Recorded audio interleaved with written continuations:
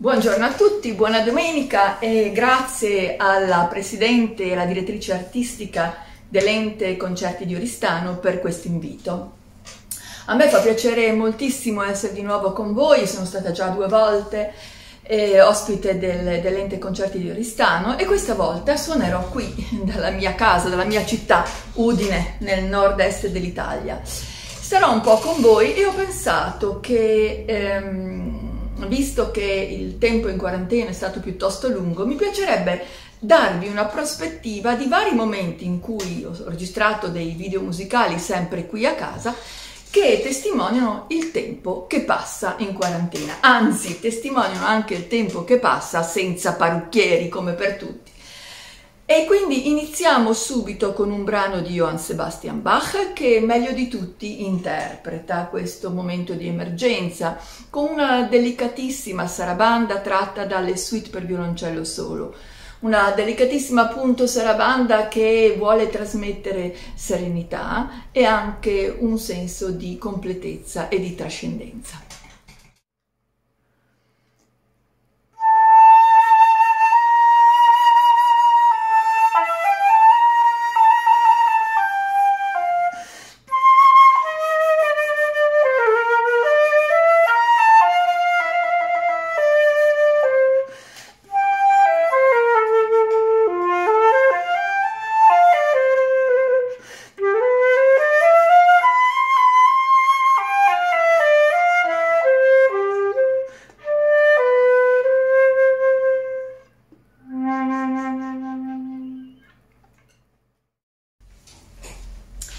E dopo questa dolcissima sarabanda, ora un momento di gioia con una bourrée, sempre di Johann Sebastian Bach, tratta sempre dalle suite per violoncello solo.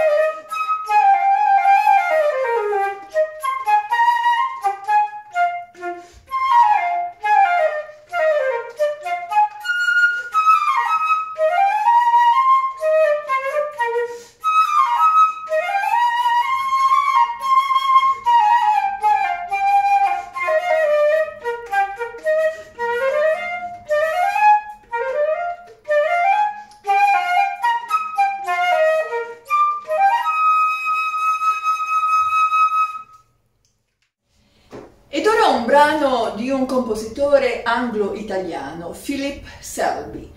Eh, mancato alcuni anni fa, ha lasciato questa bellissima composizione per flauto solo dal titolo Spirit of the Earth.